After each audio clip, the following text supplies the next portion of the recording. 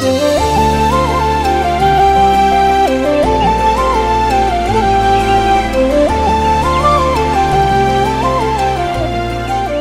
மாதா தொலைக்காட்சியின் அன்புள்ளங்கள் அனைவருக்கும் கடவுள் வணக்கம் நிகழ்ச்சியின் அன்பான வணக்கங்கள்.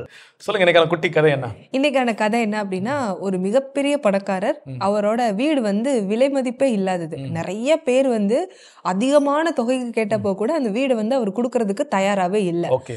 அப்போ ஒரு நாள் வெளியே தூரமா போயிட்டு வரும்போது என்ன ஆயிருதுன்னா அவரோட வீடு வந்து பயங்கரமா தீப்பிடிச்சு எரிஞ்சிட்டு இருக்கு எரிஞ்சிட்டு இருந்தோடனே பார்த்த உடனே இவருக்கு ரொம்ப கஷ்டமாயிருது பயங்கரமா அழுகுறாரு. ஐயோ என் வீடு தீப்பிடிச்சு எரியுதுன்னு எல்லாருமே வேடிக்கை தான் பார்த்துட்டு இருக்காங்க ரொம்ப பெரிய வீடு. டக்குன்னு மூணாவது மகன் ஓடி வரான் ஓடி வந்து அப்பா அப்பா நீங்க அழுகாதீங்க. இந்த வீடை வந்து நான் நேத்தே ஒருத்தருக்கு வந்து வித்துட்டேன். அப்படின்னு சொன்னோடனே அழுகையெல்லாம் நிப்பாட்டிட்டு அந்த வீடு எரியறதை இவர் வேடிக்கை பார்த்துக்கிட்டே இருந்திருக்கிறாரு. ரெண்டாவது மகன் வேகமா ஓடி வராராம். ஓடி வந்துட்டு அப்பா அந்த கா பணம் வந்து அவர் வந்து முழுசாவே கொடுத்து முடிக்கல. கொஞ்சம் தான் கொடுத்தாரு. இன்னும் கூட தொகை இருக்கு. இந்த வீடு எரியறது தெரிஞ்சதுன்னா அவர் இந்த தொகையை வந்து முழுசா. கொடுப்பாரா இல்லையான்னு சொல்லி தெரியல அப்படின்னு சொல்லிட்டு சொன்னாரா.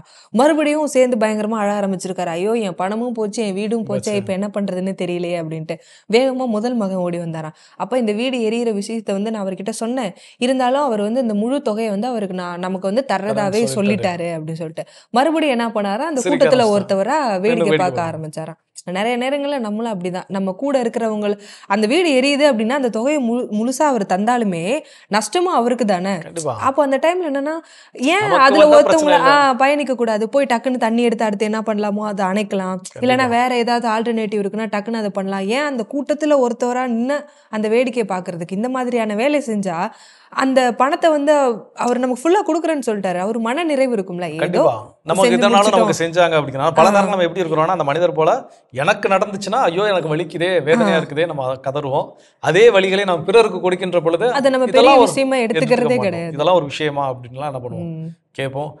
ஸோ அந்த மனநிலை எப்போதுமே நம்ம இருந்துகிட்டே இருக்குது. அதை சரி செய்வது ரொம்ப ரொம்ப முக்கியம்.